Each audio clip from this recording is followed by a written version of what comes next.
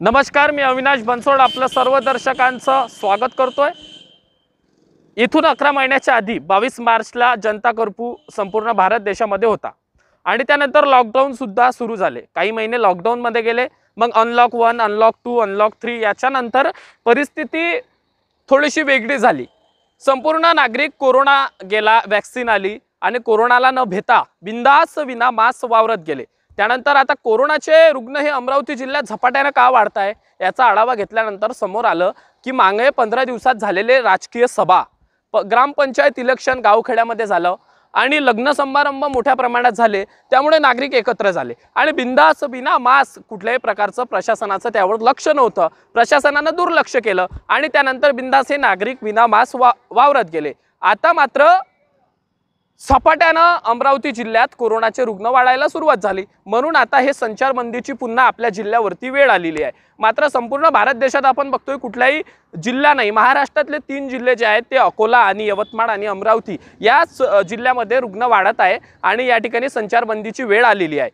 आपण बघतोय काल तब्बल अमरावती जिल्ह्यामध्ये एक हजार पंचावन्न नवीन रुग्णची नोंद झाली होती. त्यामुळे आता प्रशासनाला आणि नागरिकांना मोठा धक्का बसलेला आहे. आता वरुड शहर अमरावती जिल्ह्यात येणारा हा एक तालुका वरुड तालुका चांगला तालिक तालुका असल्याकारणानं या ठिकाणी असंख्य मोठी लोकसंख्या आहे आणि या ठिकाणी सुद्धा संचारबंदी लागू आहे. आता संचारबंदी लागू असताना वरुड शहरात नागरिक या नियमांचं पालन करताय का? त्याविषयी आम्ही आज आपल्यापर्यंत संपूर्ण वरुड शहराचा आढावा पोहोचवणार आहोत. आपण या ठिकाणी ज्या परिसरामध्ये आहोत तो आहे वरुड शहरातील पांडुर्णा चौक परिसर. हा सर्वात जास्त वर्दळ असणारा हा परिसर आहे. या ठिकाणी आपण बघू शकतो की जे नागरिक आहे हे बिंदास फिरत आहे. पण कुठल्याही प्रकारचा जो पोलीस बंदोबस्त जो असायला पाहिजे होता तो पोलीस बंदोबस्त नाही. बिंदास कोणी नागरिक बिनामास्क फिरत आहे कोणी अत्यावश्यक सेवेचं स्टिकर लावून फिरत आहे पोलिसांना भूलतापा देऊन कुठल्याही प्रकारचं कारणं सांगून फिरत आहे. जे कडकडीत बंदचं आवाहन केलेलं होतं त्याचं पालन होत आहे का? नाही होत आहे कारण वरुड शहरात पोलीस बंदोबस्तच नाही. कुठे गेले कर्मचारी? एका ठिकाणी आम्हाला केदार चौक परिसरामध्ये फक्त दोन ते तीन पोलीस कर्मचारी दिसले.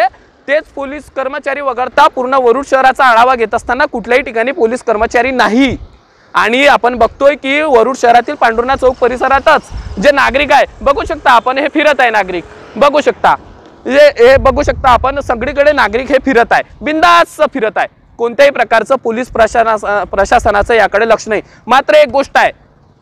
वरुड शहरातील जितके व्यापारी आहे त्यांनी लक्षणीय प्रतिसाद या कडकडीत बंदला दिलेला आहे. कुठल्याही प्रकारचा व्यवसाय कुठल्याही प्रकारचा व्यवहार या ठिकाणी वरुड शहरात सुरू नाही आहे. अत्यावश्यक सेवा म्हणजेच मेडिकल दवाखाने वगळता. पूर्ण दुकाने बंद आहे. आणि वरुड शहर कडकडीत बंद असल्यासारखं चित्र आहे. मात्र जे एकट दुःखत नागरिक आहे ते फिरताय. आपण आपल्यापर्यंत आता हा